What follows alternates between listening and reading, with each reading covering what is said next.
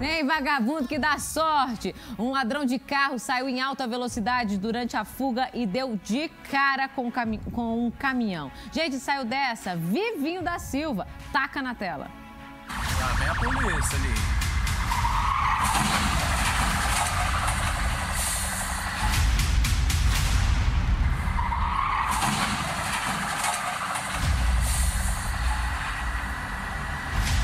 Pra quem quer ver o Valparaíso 2,